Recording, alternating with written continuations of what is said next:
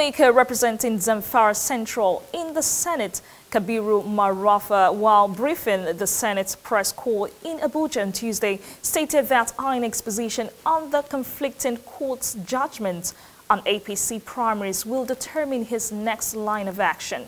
Senator Marafa stated that while the state High Court in Gusau ruled in favor of the primaries held in Zamfara State, the Federal High Court in Abuja gave a contrary verdict supporting the position of INEC and the APC that there was neither primaries conducted in the state nor a consensus candidate presented.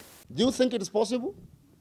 An INEC that is being headed by the kind of person that you know is the chairman of INEC, they would now come out and say that no, we are wrong.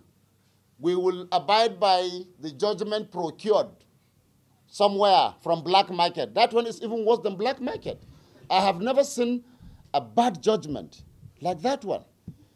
A judgment that a judge will deliver when the person that is constitutionally empowered to carry out something says that I didn't do it. Senator Marafa also vowed to expose politicians behind the crisis troubling Zamfara state.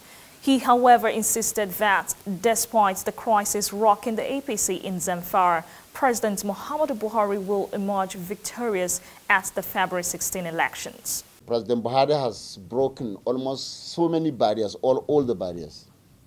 Before, it was the governors that makes the president. Today, the president doesn't need the governors. They, what, they need him instead. They need him to win. So the president is going to win Zamfara better without Yari.